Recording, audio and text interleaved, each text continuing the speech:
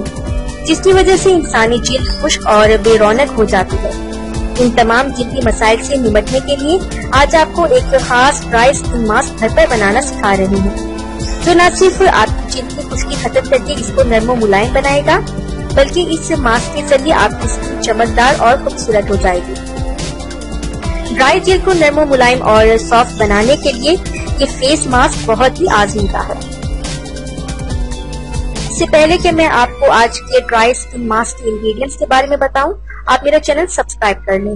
नीचे लगे red subscribe button को दबा दें और इसके साथ लगे बेल आइकन को लाजमन प्रेस करें ताकि आपको मेरी डेली न्यू वीडियोस सबसे पहले मिल सके। और ड्राई फेस स्किन मास्क में जो अज्जा शामिल है उनमें बादाम चार अदद जैतून का तेल आधी चाय की चमची हल्के गुलाब एक खाने का चम्मच शहद एक चाय का चम्मच और नींबू का रस चार ड्राई स्किन मास्क बनाने का तरीका ये है कि एक प्याली में इन सब चीज़ों को डालकर आप अच्छी तरह मिक्स कर लें और फिर इस मिक्सचर को आप अपने चेहरे पर बुश की मदद से लगा लें।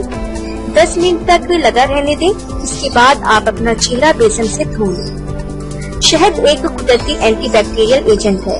इसलिए ये चेहरे को एक्ने से बचाकर साफ़ करता है स्किन कॉम्प्लेक्शन को ग्लो देता है। इसमें बहुत ज़्यादा मॉइस्चराइजर और सूटिंग क्वालिटीज मौजूद होती हैं, जिसकी वजह से रंगत निखारने में बहुत मददगार साबित होता है। जैतून का तेल विटामिन ई e और ए से भरपूर है। इसके अलावा इसमें फैटी एसिड्स भी काफ़ी ज़्यादा पाए जाते हैं जो कि स्किन को नरमो मुलायम रखते हैं। ये कुदरती मॉइस्चराइजर भी है जो जिल्द की खूबसूरती में इजाफा करता है। जिल्द के जितने भी मसाइल हों अर्के गुलाब उनके लिए बेस्ट है। ये जिल्द की खूबसूरती को बरकरार रखने में मदद फराहम करता है ये एक नेचुरल क्लिनजर भी है। लेमन में citric acid calcium potassium phosphorus और मुख्तलिफ़ किस्म के वाइटामिन बहुत ज़्यादा मिकदार में पाए जाते हैं। इसके रस छिलके बीज, हर चीज़ में बेपना गजाइत मौजूद है। इसमें कुदरती ब्लीचिंग इफ़ेक्ट मौजूद होता है, जो हमारे जिल्द की रंगत निखारने में मदद करता है।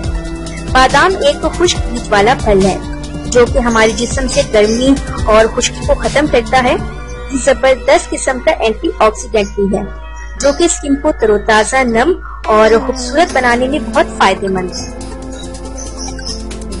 रोज़ाना लगाएँ, सिर्फ़ तीन दिन में चेहरा रुई की तरह मुलायम हो जाएगा। इस अमेजिंग टोटके की बदौलत चेहरे की खुश्की न सिर्फ़ हमेशा के लिए खत्म हो जाएगी। साथ ही चेहरा बहुत नरम, मुलायम और फूल की तरह निखरा निखरा हो जाएगा। ज़रूर ट्राई करके देखिए। सो so गाइज़ अगर आपको मेरी ये आज की वीडियो पसंद आई हो तो इसको लाइक और अपने तमाम फ्रेंड्स के साथ शेयर ज़रूर कीजिएगा। प्लीज़ मेरा चैनल सब्सक्राइब करना ना भूलिएगा। नेक्स्ट वीडियो तक के लिए मुझे इजाज़त दीजिए। अल्लाह हाफिज। इतनी मेहनत से वीडियो बनाई है, एक लाइक तो बनता है ना।